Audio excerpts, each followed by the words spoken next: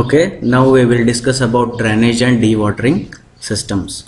See, in geotechnical engineering, what happens when you go for constructing the foundation, you if this is a ground uh, surface, then you will dig that soil. You, know?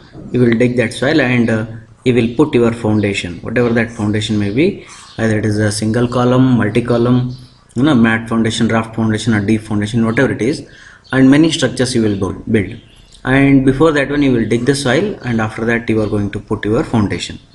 But the thing is here the problem one problem we will face it in the field that is when we dig the water uh, the soil and when we remove the soil from this pit then uh, continuously the water may enter here. Because there might be an water table here there might be the level of water table at this point and you are digging the soil beyond the uh, water table then this much of obviously the naturally the water will come and deposit here. But you want to work that you want to put your foundation at this point therefore you need to remove this water. Okay? Then this removing the water and allowing that water to move some other place that is your drainage and dewatering. Dewatering means we are just removing that water. Drainage means we are allowing that water to move in a particular direction. That is the drainage and dewatering that we are going to study in this video. Now look at here. The introduction the groundwater condition play an important part in the stability of foundation. If the water table lies very close to the base of the footing base of the footing. Say for example if this is a footing and this is the base of the footing if the water table is very close to the base of the footing the bearing capacity and the settlement characteristics of the soil would be affected. Affected means what? Bearing capacity will be reduced and uh, settlement will be more. Settlement will be more. Like that that will be affected. Then the removal of excess water from the saturated soil mass is termed as drainage and dewatering. Okay this excess water either here or the water may be water may deposit till here that water we need to remove it. Okay that process is called as dewatering. Okay then the permeability of soil is important factor. Selection of pumps for the pumping out of water from the excavated trench or pit settlement and stability of the foundation etc are depend on the permeability of the soil. See here what happens? Here if it is a pit then you put one motor here and after that you will pump this water out. But this pumping this motor may be very efficient. It is ready to oh, draw the water very fast with a high discharge but the soil permeability also matters because how much of amount of water you are removing from here that much of amount of water will come here. Therefore you need to check what is the discharge of inlet and how much you need to maintain it to reduce the level of water table or otherwise to make it vacant you know that's you need to think. Means that amount of water which is coming inside the pit is depending on the permeability of the soil the main purpose of construction dewatering is to control the surface and subsurface hydrological environment in such a way that to permit the structure to be constructed in the dry state okay? Means you want always whatever the structure you want to build you have to build in a you have to construct in a dry condition only dry condition only. Because in wet condition you don't get any idea okay you need to dry, make it in a dry condition. And after that if water comes that is other part. And always in geotechnical engineering always we need to try uh, to maintain the distance between the water and the soil. Okay.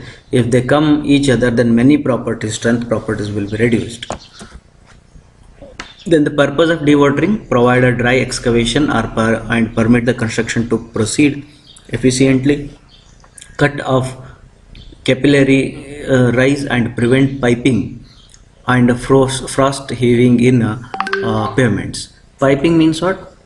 Piping means say for example if this is a soil mass and if water is coming here and there the water's critical gradient will be matched to the hydraulic gradient okay?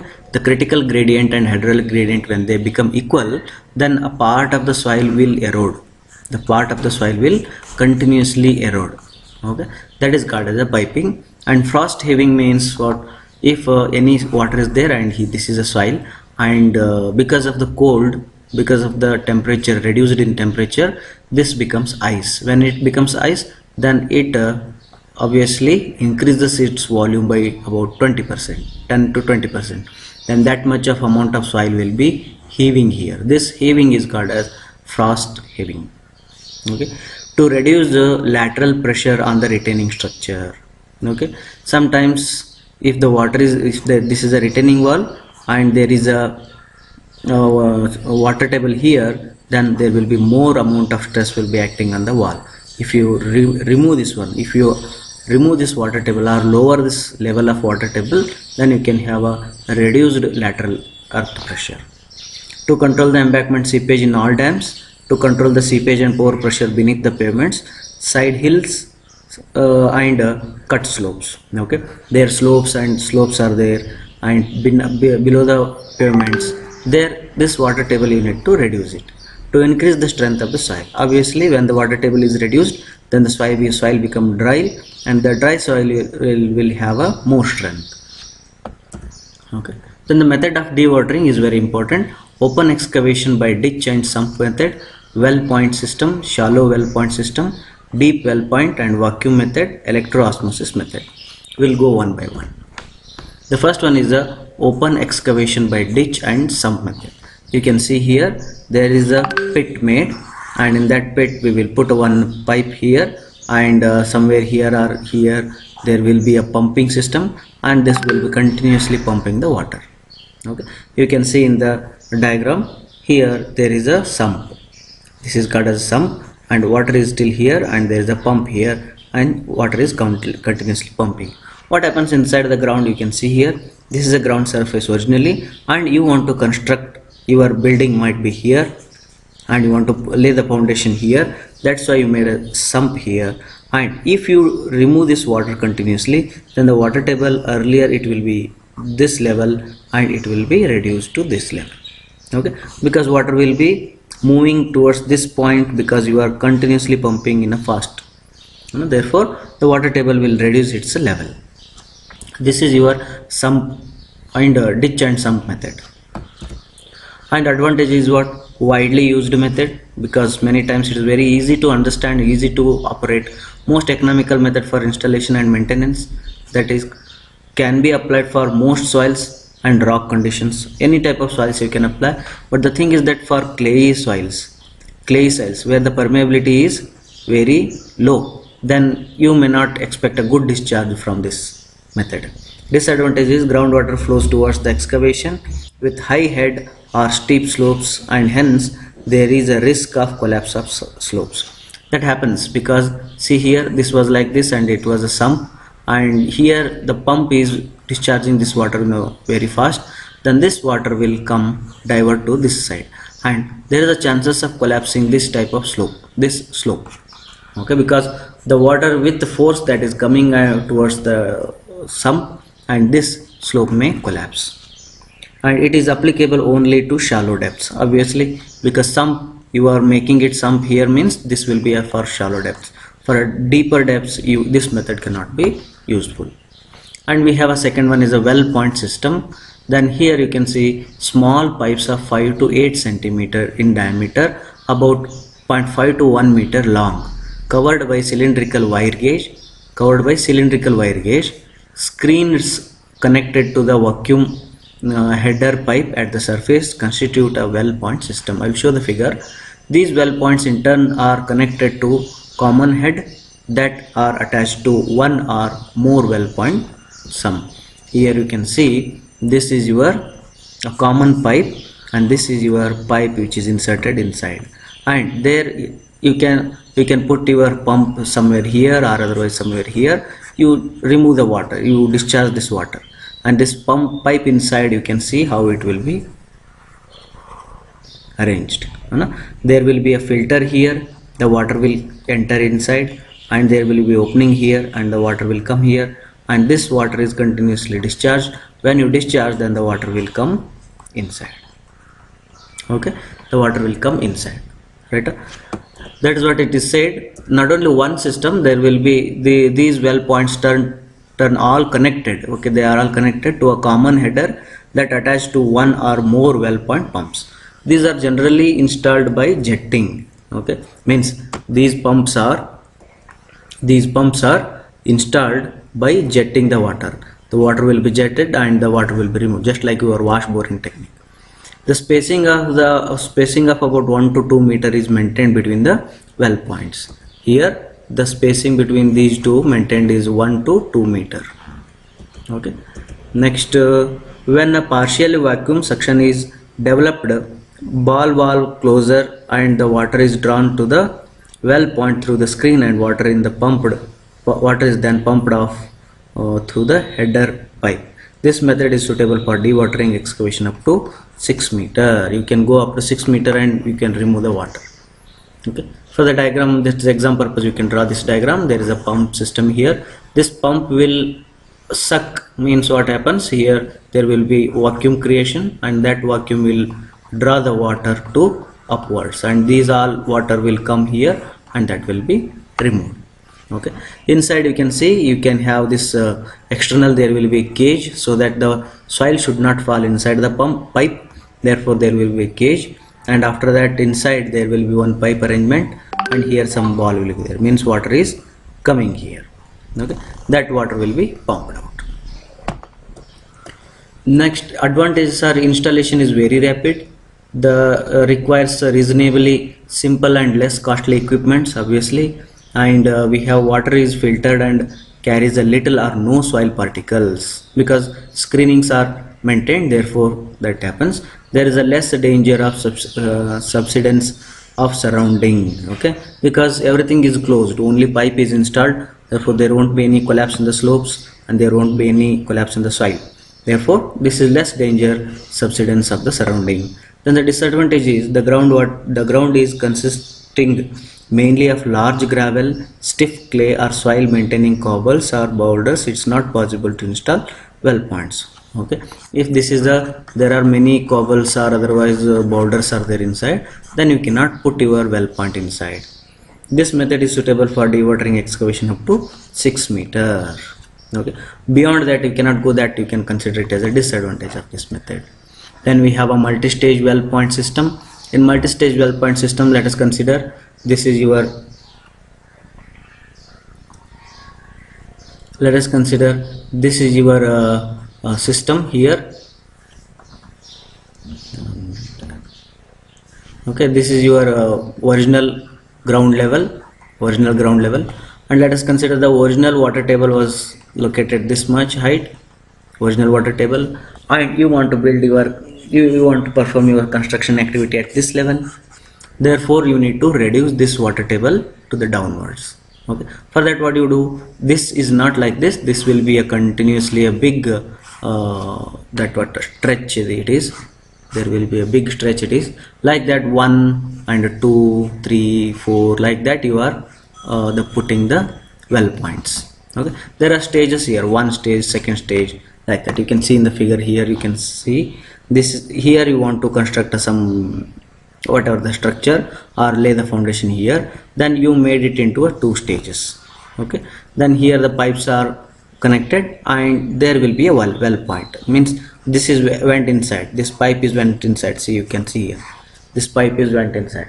And again the screening everything will be there. And by using the pump by using the pump you create the vacuum and this water will be coming there. When it comes then you can see the water table the original water table was here then it is reduced to here reduced to here. Like that surrounding everywhere you do then the water table reduced to your construction site below the construction site. This is your multi-stage well point system okay? Now we have a shallow well well system that is a, a borehole of 30 centimeter is in diameter is bored. Here we will make a borehole we will not insert the pipe but we will make a borehole of 30 centimeter in diameter and the strainer's tube of 15 centimeter dia with casing pipe is lowered into the borehole. Okay? And this is your here you can see. Not this one.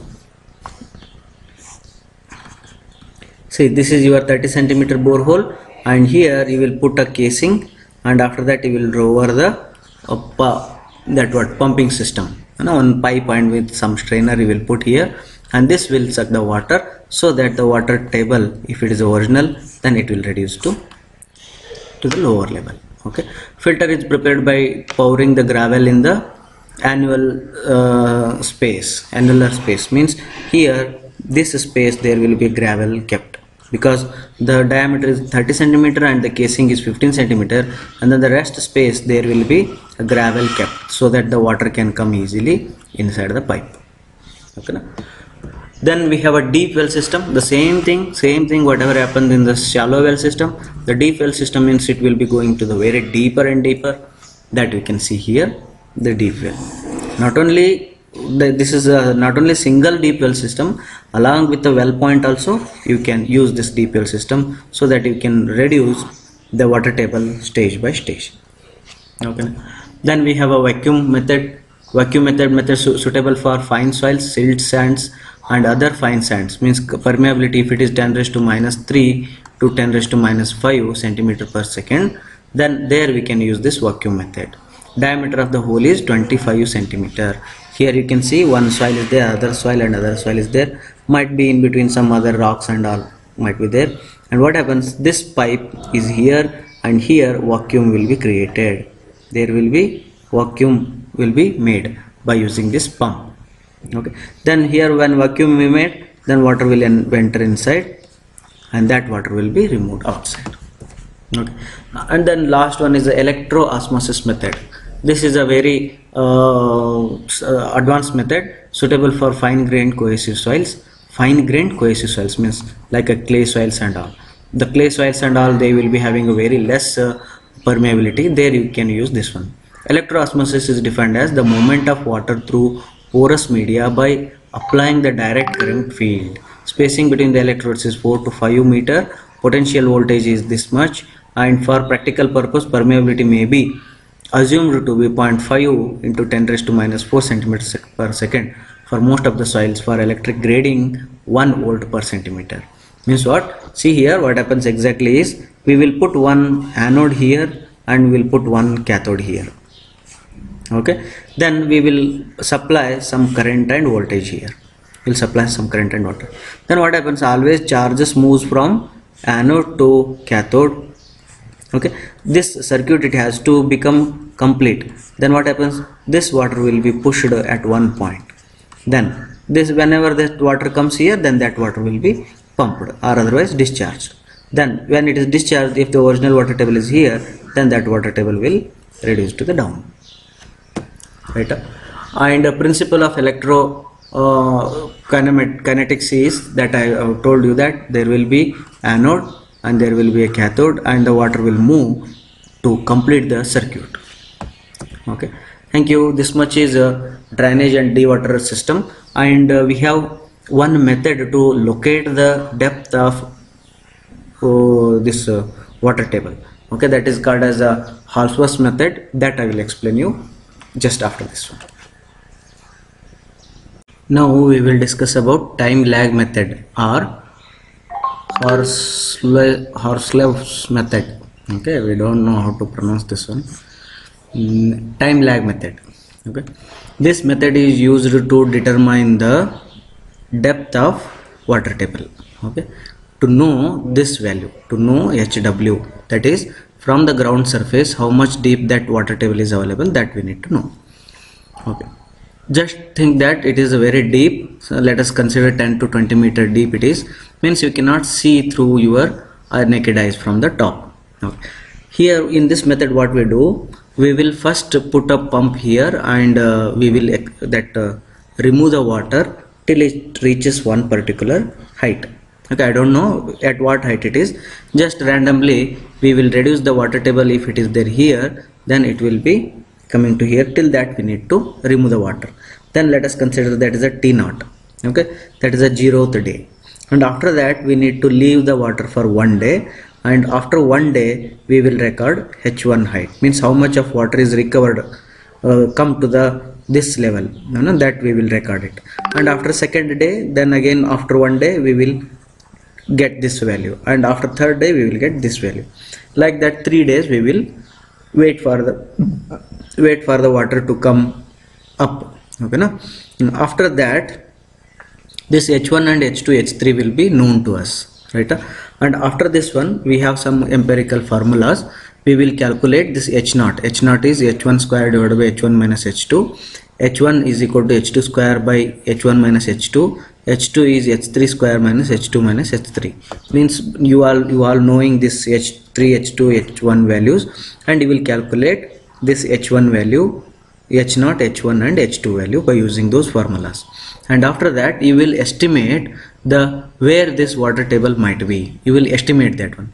For that estimation what you can see you can write it like hw1 this is the first estimation. What you can have this is a hw that is a hw minus h0 h0 is calculated in the previous slide. That you will write here h0 okay now then you got this one. Hw minus h naught means you got this. This is the first approximation we will call it. You can stop here only but we will go for the second approximation. Hw2 is equal to hw capital this much minus this and this and this. Right? Minus h1 minus h2 minus hw no, h1 no? then you will get a hw2 this is the second approximation means again you come to the top only. Then hw3 will be equal to what? This hw minus h1 minus h2 minus h3 then capital h2 that is your hw minus h1 minus h2 minus h3 okay minus capital h2 then you will get a third approximation. Usually these three will be h1 hw1 hw2 hw3 will be same. Okay constant. They have to be equal but sometimes if it is varied then we will take the average of that. You can see you got the h1 h2 h, uh, h0 h1 h2 how to calculate. And this is the first approximation second approximation third approximation.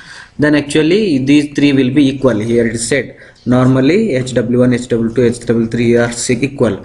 If not an average value of the hw is taken. Means hw is equal to hw1 plus hw2 plus hw3 divided by 3 okay? We have one problem here you can see. The est uh, establish the location of groundwater in a clay stratum. Water is water in the borehole was bailed out to a depth of 10.5 meter below the ground surface and uh, the rise of water was recorded at 24 hours intervals as this one. Okay. If these values i need to draw first diagram i will show here only.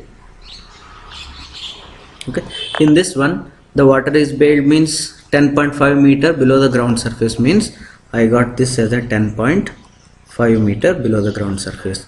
Then these intervals are known to me. Means h1 is given directly they have given h1.63 this is a 0.63 and this is a 0.57 okay? That is 0.57 and that is 0.51 0.51 okay? These three we will get and after that we will use this equation. We'll use this equation this equation this equation. We will calculate h1 h0 h1 h2 then i will get h0 is equal to h1 square divided by h1 minus h2 then i will get uh, 0.63 square divided by 0.63 minus 0.57 I got 6.61 6.61 meter. And h1 equal to h1 square divided by h2 square divided by h1 minus h2 this is h1 minus h2 only. Okay h2 square is 0.57 divided by 0.63 57 square divided by 0.63 minus 0.57 that is 5.41 5.41 meter. Then h2 is equal to h3 square divided by h1 minus sorry h2 minus h3 this time h3 square is 0.51 square divided by 0.57 minus 0.51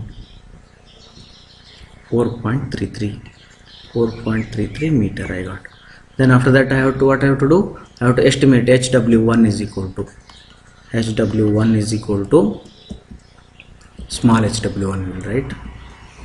Hmm, hw1 is equal to h0 minus hw that is h naught is mm, 10 hw minus h naught because hw is greater h naught is smaller. 10.5 minus 6.61 that is 3.9 meter. Okay. Then hw2 is equal to hw h naught sorry hw minus h1 minus h2 minus h1 okay. Look at the formula. Yes h1 then this is 10.5 minus 6.61 minus minus 5.41 minus h1 is